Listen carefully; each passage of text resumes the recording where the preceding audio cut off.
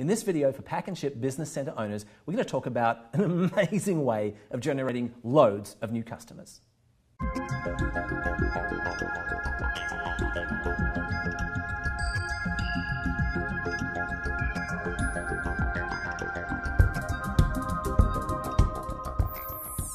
Morning, Brandon. Lovely to see you. Good to see you, Tim. And I've got to say, you know, you're my hotshot guy here, Brandon, the Brandon Gale, and president of the, tell me, the association? Retail Shipping Associates. And you guys have how many members? We have over 7,000 members throughout the United States. All right, so this is impressive. You've been around, you know what you're talking about here. I want to ask about something that is near and dear to every pack and ship uh, store owner how do you get new customers? Especially in this day and age when, you know, uh, some of the services are fairly mature, especially if you're dealing with local area only. Uh, of course, I'm throwing a digital mailbox here. Can you tell me about That's it? That's a daily diet item for every retail store owner. Where do I get new customers? That's the only way they can grow.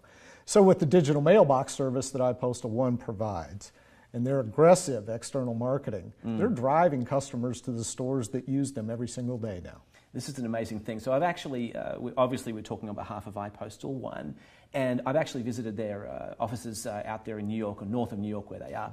And it is staggering to me, not only how aggressively they're marketing on the internet, but the uh, accomplishment in terms of their SEO traffic and so on. My understanding is they're sending something like six to eight times as many new customers to pack and ship stores who've signed up as anybody else. Yeah, I, it's remarkable, and I think uh, it's important to underscore the amount of marketing that iPostal One does for their customers. That is the store owners. That's their customer.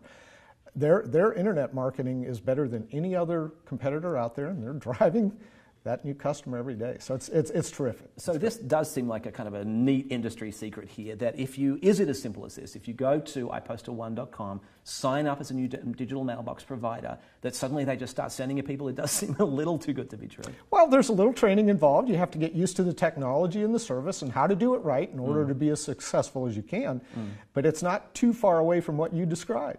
Well, it sounds like the kind of thing, uh, it really does to me sound like the evolution you know, in the same way that Uber is the evolution from taxis, digital mailbox does seem the evolution. And hey, listen, from my perspective, iPostal One seems like a pretty good option here. I think a few years from now, this is how we will all be handling our mail. All right, thank you so much, Brandon. Thank Appreciate you. it. For those who would like to uh, find out more, potentially sign up and get their own new customers, expand your own new customer base, make a whole mess more money, uh, please go over to ipostal1.com and you'll find everything you need there to sign up and get online.